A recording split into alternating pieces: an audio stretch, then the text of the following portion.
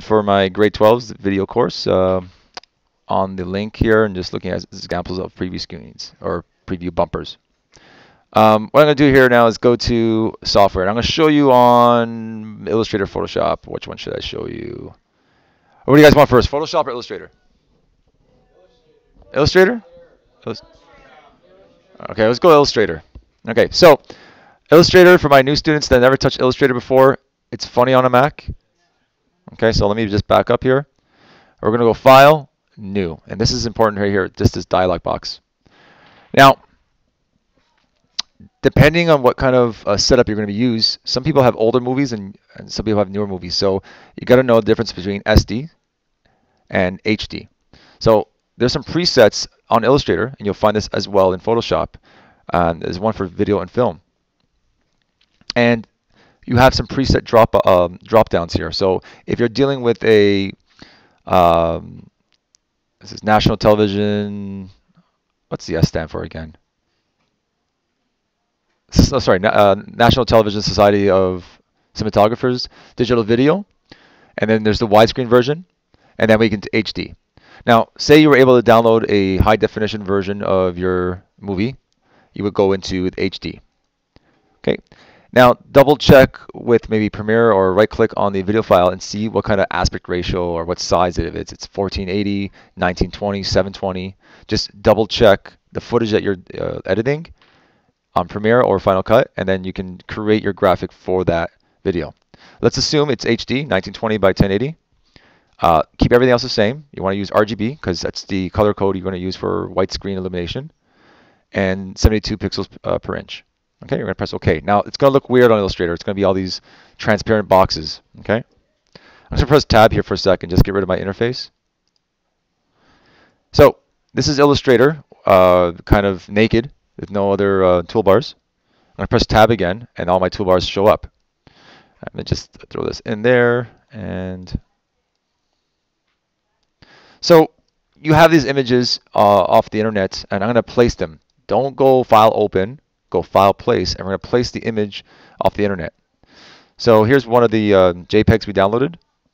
Okay, and wow, what a size difference. Okay, we're going to blow this up so it fits, and I'm using shortcut commands right now uh, to zoom in and zoom out. Let me just double check here. Okay. I'm going to hold shift and proportionally grow, and this should, oh snap, it doesn't fit.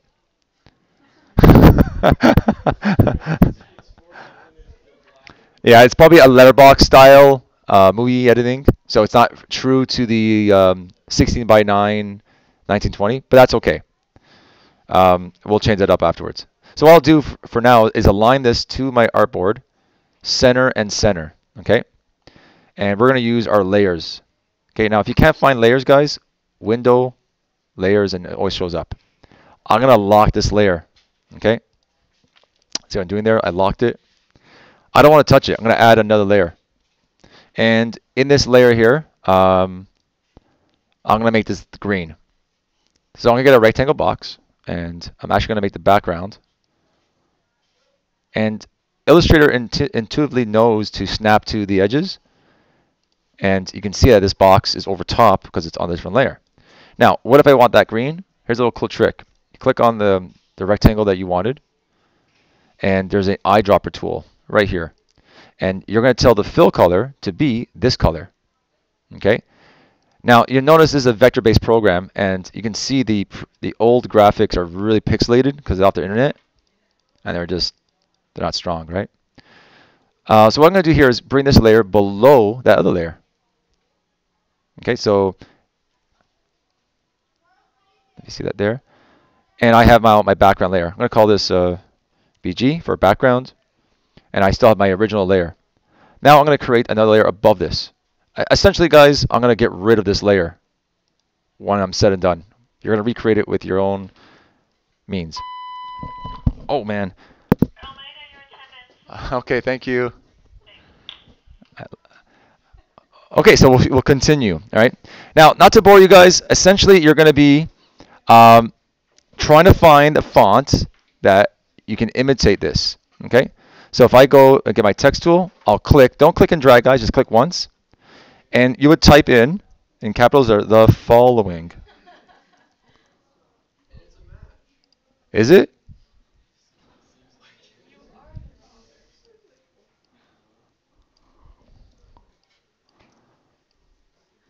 Does anybody know what font this is? I wouldn't be surprised if it was Helvetica. Is it Arial? I'm guessing. It's probably Arial. Oh, it's pretty close. Maybe Arial Bold. Oh, it is Arial Bold. All right, so you match it up and you would type in, and you're probably wondering, sir, why is it black? Well, that's because it's just black right now, and I'm going to make it white afterwards. All right, so imagine you're doing that. You're going to use your text tool to imitate it, and you can play with the tracking and kerning. Now, for my uh, former Comtech students, you know, highlight the text, hold Alt down with your left hand, and use a cursor key, and you can play with the spacing of the lettering. Okay. Um, I would do the line by line, guys. So I'm going to hold Alt, duplicate this. You could just actually get the text tool and just type again, but if you want to save time, hold Alt, duplicate that line of text, and then just double click on it and uh, type in the new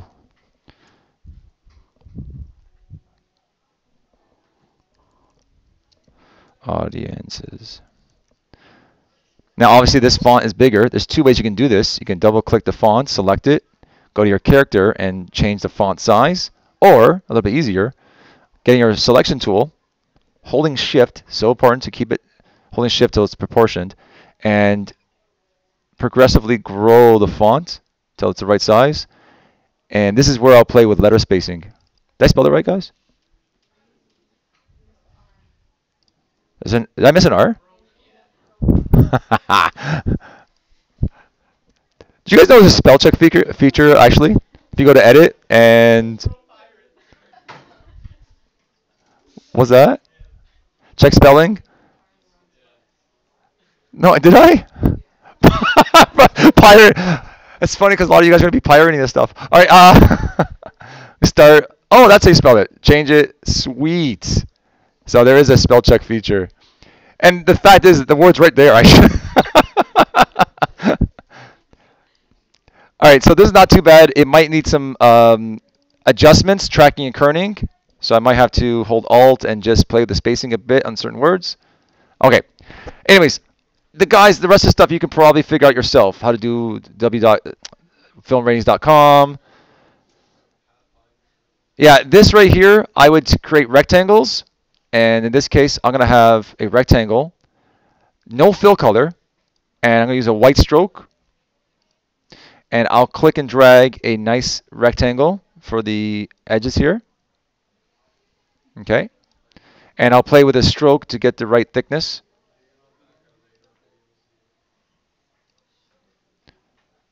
Say again. I'm on the wrong layer? Oh, shoot, you're right, right. Damn. Somebody's paying attention. Uh, I'm going to press Command X to cut that, go back to this layer, and command, uh, Command F to put it back in place. There it is. And essentially, you just make smaller rectangles. I'll type the, the word restricted and put it inside above this letter. I'll find a nice uh, serif R to imitate that R. You might want to use the internet to find what font that is. And essentially, guys, you're just making rectangles within rectangles to fill in that area. Okay. Now there's one little icon here. I think it's like a little world, uh, the MPAA logo. You might want to imitate that as well.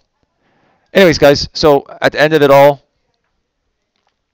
uh, what happened to my background? What happened to my background, guys? Oh, I messed it up. Ooh, that's intense. Sorry guys, let me go back and click on that eyedropper. There you go. Okay, so then essentially guys, you're creating your own preview screen. You'll save this. preview bumper, and you can save it as an Illustrator file, guys. Um, anybody know if Final Cut Pro has a hard time taking Illustrator files? Anyway, so we'll, we'll find out. Uh, for those use, using Premiere, uh, it it takes in the Adobe file as is. So just save it as a Illustrator file. Now you could have some creative freedom, guys. There's some right up here. It says sexual content, nudity, all that. If you want to be humorous and change that up to your own specifications, you can. Okay? And this will last maybe four to five seconds on your trailer. Is that cool? Anyways, guys, good luck. Hopefully that works.